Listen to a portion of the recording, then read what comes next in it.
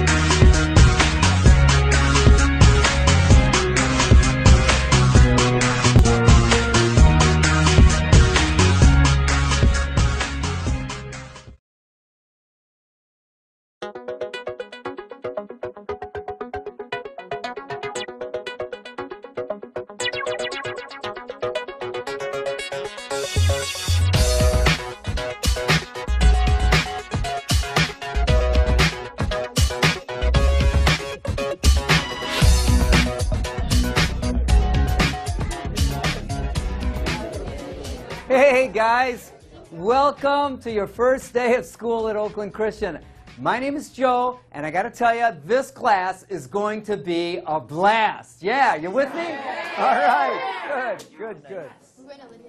Yeah? Oh, I'm going to for sure. No, I Hey, haven't. you want to take your seat, please? Uh, hey, welcome to Blunder High. I want you to right now turn in your books, please, to page 8. Start to read chapter 1 as I get my easel set up. Thank you.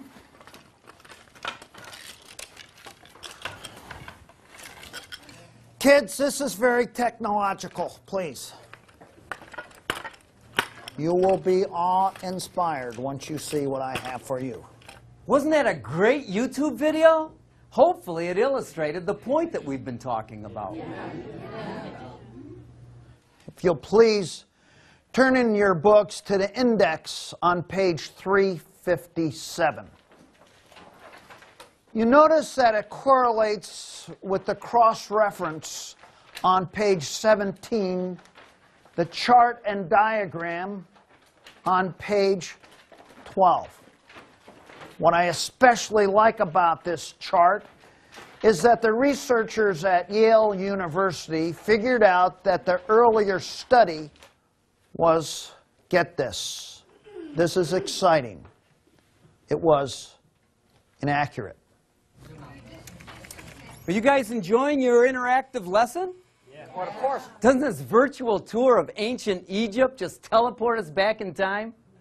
This multicolored flip chart juxtaposes the two errors in a rather exciting fashion. What I especially want you to notice is the blue line that happens on page two. The blue line, as you'll notice here, rises and then seems to level off. Now, the numbers that go up here, this would be error two. Make sense? It makes total sense when you just think about it. I've used blue to reference Poland. And We need to up the budget for this class. I creatively used to represent the Irish.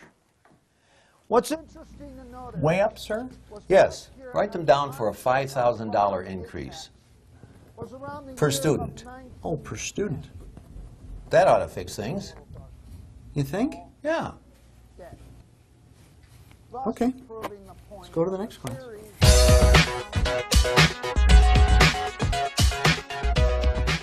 Hey class, remember to check out my Facebook fan page for a list of lessons. Plus, I'll be uploading some video links and some audio links to round out what's happening in class.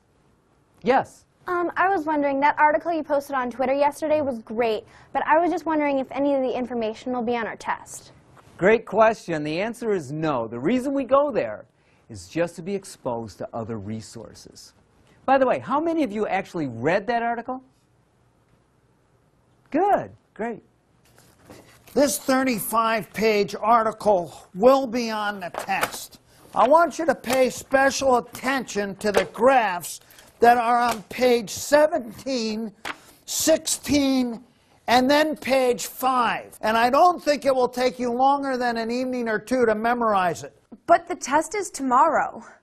Well, then I would advise you start reading. The page on 16, the graph, I want you to notice. Class, I want to remind you to visit my website tonight. Also, hit that video blog. There's a great video with information that you need for tomorrow's tests. Yes. Uh, I have a doctor's appointment tomorrow, so I'm going to miss class. Not a problem. I'll send it to your account, log in at home, take the test, and we'll take care of it that way. Hey, you guys have a great day. If anybody needs anything, we'll connect up on uh, video chat. All right? See you tomorrow.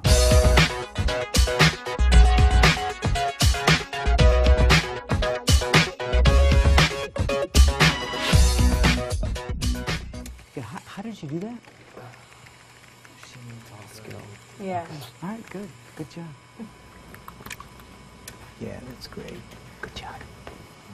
And how you doing over here? Good.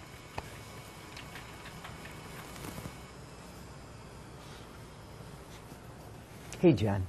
How's the lesson going? I'm a little stuck on this part. Oh, yeah, yeah, yeah. Hey, no problem. Let's just step back a couple of sections. Yeah, right here. Let's pick it up from that spot. All right? Mm-hmm. All right, cool. As you're working on your problems, we'll take a look at Paslow's theory.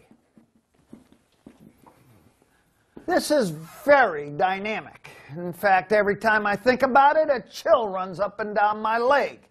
Now, you'll notice with me here, there is a paradigm shift. Yes, Beth. My name is Jennifer, Whatever, we're discussing Paslow's theory. but I'm totally lost and need help. Beth, will you please see me after class? Now, let's get back to Paslow's theory. Now, you want to notice with me, there is a paradigm shift between the vertical and the horizontal. It makes total sense when you just think about it. Oh, thanks. It makes total sense now. Great. That's why I'm here. Good job. Hey, anybody else have any questions?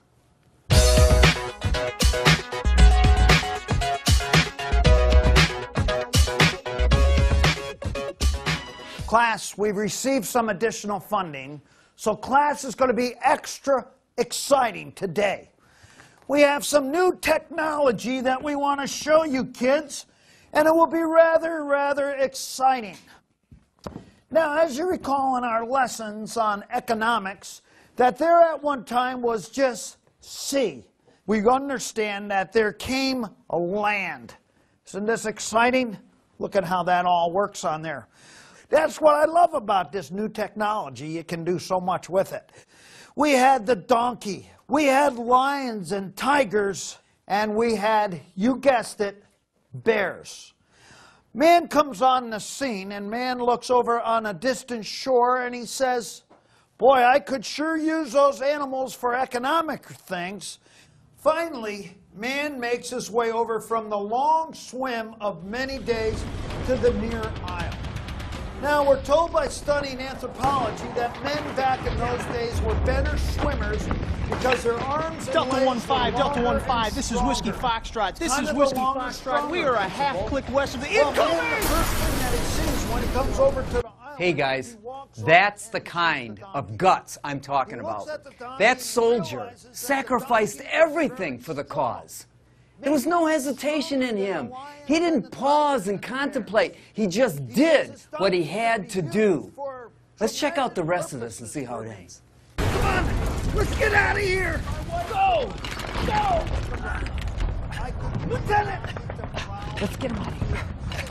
Lieutenant. Remember was that uh, how would he get the donkey? We gotta get out of here now. Hello, guys. Where'd you go? Well, anyway, he thought, how could I get the donkey over to the near isle where my family is? Realizing that donkeys probably were good.